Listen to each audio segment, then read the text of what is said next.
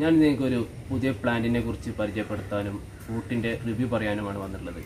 നിങ്ങൾക്കൊക്കെ പരിചയമുള്ള ഞാവലിൽപ്പെട്ട വൈറ്റ് നാവൽ എന്ന പ്ലാന്റിനെ കുറിച്ചിട്ടാണ് ഞാൻ നിങ്ങൾക്ക് ഈ വീഡിയോയിൽ പറഞ്ഞു തരാൻ പോകുന്നത്. അപ്പോൾ നമുക്ക് എന്ത് ചെയ്യാം? ആ വീഡിയോയിലോട്ട് പോകാം.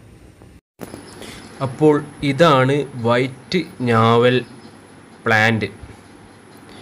വൈറ്റ് നാവൽ പ്ലാന്റ് നമ്മളുടെ ബ്ലാക്ക് നാവലിന്റെ ഏകദേശം അതേപോലെ തന്നെയാണ് ബട്ട് നമ്മൾ ചട്ടിയിലോ ഗ്രോ ബാഗിലോ നട്ടുപിടിപ്പിക്കാവുന്ന ഗ്രാഫ്റ്റ് തൈകളിൽ ഇപ്പോൾ നഴ്സറികളിൽ ലഭ്യമാണ്. അതുപോലെ തന്നെ ഇതിന്റെ ടേസ്റ്റ് ഞാൻ കഴിച്ചതിന്റെ അടിസ്ഥാനത്തിൽ പറയുകയാണെങ്കിൽ ബ്ലാക്ക് നാവലിനെ പോലെ തന്നെ ഇതിനും സെയിം ടേസ്റ്റ് തന്നെ എന്ന് പറയാം. ഒരു പടി മുന്നിൽ വെക്കാം എന്ന് മാത്രം.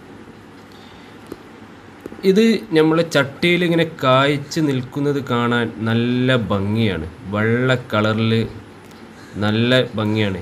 വെള്ള ക കളറാണെങ്കിൽ പോലും ഇതിലൊരു പിങ്ക് കലർന്ന് ഒരു വെള്ളയാണ് ഇതിൽ വരുന്നത്. ഒരു പ്രത്യേക തരം ഭംഗി തന്നെയാണ് ഇതിനുള്ളത്. നമ്മൾ കേരളക്കാർ ഞാവൽപ്പഴം എന്ന് വിളിക്കുമ്പോൾ ഇതിന്റെ ഒറിജിനൽ നെയിം വരുന്നത് വൈറ്റ് ജാമൂൻ എന്നാണ്. വൈറ്റ് ജാമുൻ എന്ന് വെച്ചാൽ അഥവാ സിസ്ജിയം കുമിനി എന്നും ഇതിനെ പറയപ്പെടുന്നു.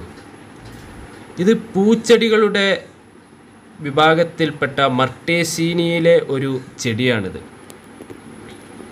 ഇത് ബംഗാൾ നേപ്പാൾ പാകിസ്ഥാൻ ഇന്തോനേഷ്യ എന്നിവിടങ്ങളിൽ നിന്നും നമ്മളുടെ കൊച്ചു കേരളത്തിലേക്കും അതുപോലെ തന്നെ ഇന്ത്യയുടെ പല ട്രോപ്പിക്കൽ ഭാഗങ്ങളിലും ഇത് നന്നായിട്ടിപ്പോൾ വളരുന്നുണ്ട്. ഒരുവിധം ഫലങ്ങളെ സ്നേഹിക്കുന്ന ആളുകളെല്ലാം വൈറ്റ് ഞാവൽ വെച്ച് തുടങ്ങിയിട്ടുണ്ട്. നമ്മളുടെ വീടിന്റെ മുൻവശത്ത് വെച്ച് കഴിഞ്ഞാൽ നല്ല ഭംഗിയിൽ ഇത് വളരും.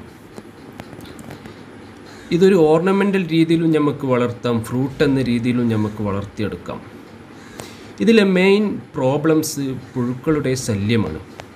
ഫ്രൂട്ട്സ് എല്ലാം പുഴുക്കൾ കഴിക്കും. അതാണ് ഇതിന്റെ മെയിൻ ഒരു പ്രോബ്ലമായി കാണുന്നത്. എന്നാലും ഇത് ഫസ്റ്റ് ടൈമിൽ അത്യാവശ്യം പുഴുക്കളെല്ലാം കഴിക്കുമെങ്കിലും രണ്ട് മൂന്ന് പ്രാവശ്യം കഴിഞ്ഞ് കഴിഞ്ഞാൽ നല്ല രീതിയിൽ വിളവ് കിട്ടും.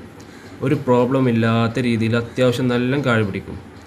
ഇത് ചട്ടിയിൽ ഞാൻ വെച്ചിട്ടല്ല ഗ്രോ ബാഗിലാണ് ഇത് വെച്ചിട്ടുള്ളത്. നല്ല സൈസുള്ള ഒരു ഗ്രോ ബാഗിൽ ഇത് പ്രൂൺ ചെയ്യണം. ഇപ്പോൾ വളർന്നു വരുന്ന സമയത്ത് അടിയിൽ ഭാഗത്തുള്ള എല്ലാ കമ്പുകളും നമ്മൾ വെട്ടിക്കൊടുത്ത് നല്ല പ്രൂൺ ചെയ്തിട്ട് നിലനിർത്തണം. ചെടി ഒരു മെച്ചുവേർഡ് ആയി കഴിഞ്ഞാൽ ഇതിന് വാട്ടർ ലെവൽ ഒന്ന് കുറച്ച് കൊടുക്കുക. അപ്പോൾ ഇത് നന്നായിട്ട് ഫ്ലവർ ചെയ്യും. പിന്നെ അതുപോലെ തന്നെ ഇതിന് ചാണകപ്പൊടിയാണ് ഞാൻ മെയിനായിട്ട് ഇട്ട് കൊടുക്കാറ്. നല്ല കുഴപ്പമില്ലാത്ത ടേസ്റ്റുള്ള ഒരു ഫ്രൂട്ടാണ് എല്ലാവർക്കും പറ്റുന്ന ഒരു ഫ്രൂട്ട് ചെടിയാണിത്. നിങ്ങൾക്ക് ഇഷ്ടമായില്ലേ? അപ്പോൾ എന്തായാലും എന്റെ വീഡിയോ നിങ്ങൾ എന്ത് ചെയ്യണം? ലൈക്ക് ചെയ്യണം ഷെയർ ചെയ്യണം. സബ്സ്ക്രൈബ് ചെയ്യാത്തവരുണ്ടെങ്കിൽ എന്തായാലും സബ്സ്ക്രൈബ് ചെയ്യുക ആ ബെല്ലൈക്കണിലൊന്ന് പ്രസ് ചെയ്യുക ഓൾ നോട്ടിഫിക്കേഷൻ എന്നുള്ള ഓപ്ഷൻ എനാബിൾ ചെയ്തിടുക. അപ്പോൾ നമുക്ക് എന്ത് ചെയ്യാം? നെക്സ്റ്റ് വീഡിയോസുമായിട്ട് വീണ്ടും കാണാം.